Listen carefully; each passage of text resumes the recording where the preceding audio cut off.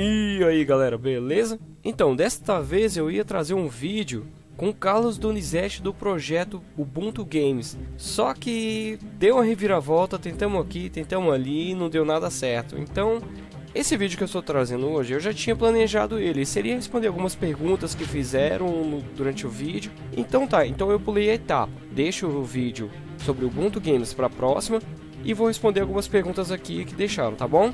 É, até deixando claro, eu não pretendo, gente, só ficar trazendo vídeo, trazendo história de distribuição, tá? Eu pretendo trazer informação sobre Linux, de um modo geral. Não é só ficar contando, narrando história de distribuição, não, tá bom? É, mais uma coisa, não reparem na minha voz, porque eu peguei uma gripe aí e fiquei rouco, tá bom? O tempo aqui em São Paulo tá frio, daqui a pouco tá seco de novo, é a coisa mais doida do mundo. Então vamos à primeira pergunta. A primeira pergunta é do Murilo Góes de Almeida, que diz o seguinte: Boa tarde. Você sabe me informar se nos dias atuais o Slacker alcança um grande mercado consumidor e se possui uma visão de futuro, ou seja, se trata de uma distribuição ultrapassada que está caminhando para o desuso? Bom, mercado eu não vejo alcançar, né? Porque assim, ela tem um nicho dela. É, é isso que eu estou tentando difundir sobre Linux. Cada distribuição tem o seu nicho.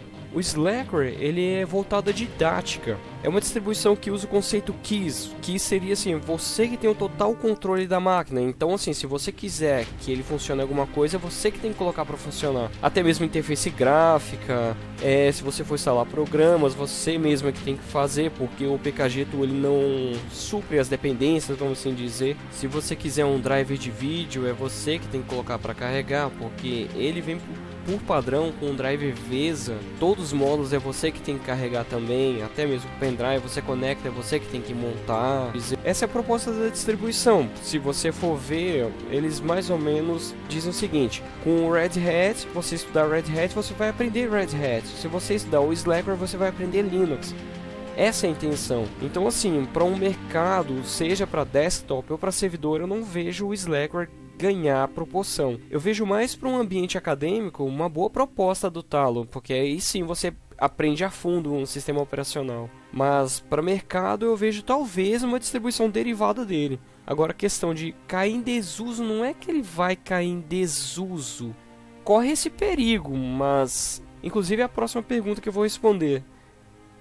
Mas não é que ele esteja caindo em desuso com coisa ultrapassada. Eu mesmo já não utilizo o Slacker há um bom tempo. Então, assim, eu acho que para poder responder essa pergunta, só quem é usuário a fundo mesmo de Slacker que pode responder para nós. A próxima pergunta é do Vinícius Mendonça, também sobre o Slacker. Ele diz o seguinte: Oh, o Slacker anda meio parado.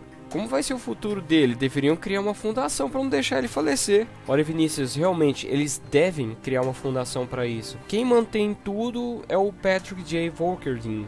E de lá para cá, até onde eu sei, é só ele que mantém o Slacker.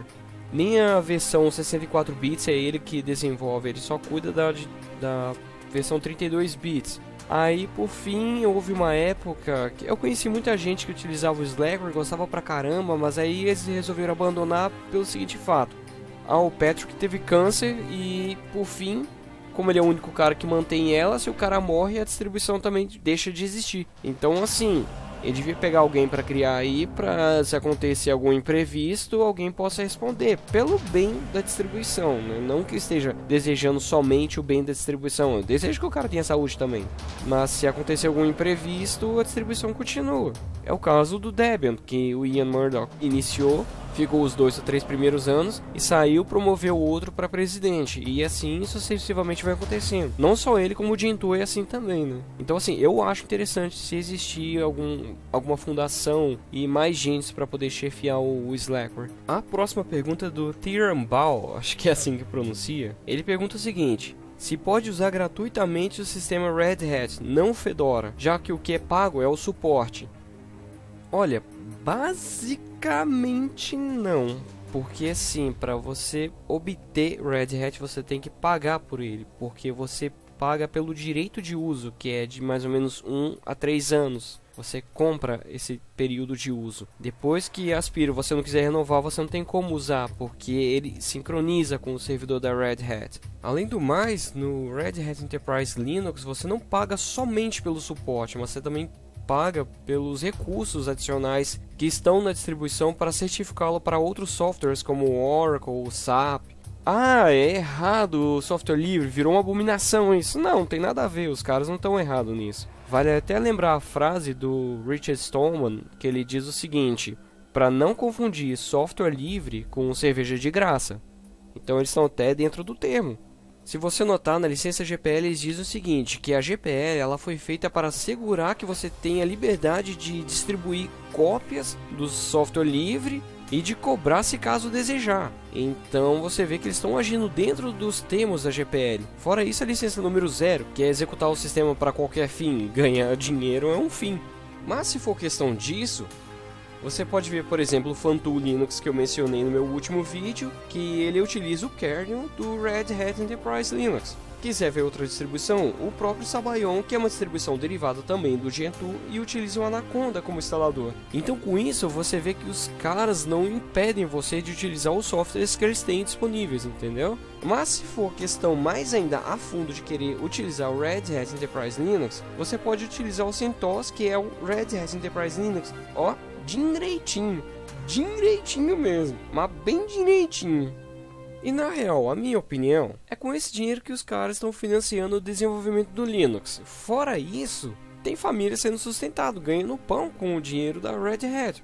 Eles estão contratando gente, pessoas estão sendo contratadas, estão lucrando, então deixa os caras ganhar dinheiro, não tem problema nenhum com isso. E a última pergunta que foi do Odail, faz um vídeo ensinando a instalar o Linux no PS3. Bom, eu até ensinaria se eu tivesse um PS3, que é o que eu não tenho. Então, mas se alguém quiser me dar um de presente, eu não vou achar ruim de jeito nenhum. E é isso aí. Então eu fico por aqui, tá bom, galera? Espero que tenham gostado. Foi um vídeo rapidinho, só um bate-papo aí com vocês, tá? Não esqueçam de dar um joinha aí para poder dar uma força pro canal, compartilhar com os amigos e não deixe passar na Dio Store que os caras estão com produtos novos lá, tem até mini PC agora, beleza? E eu vou nessa. Até um abraço e falou!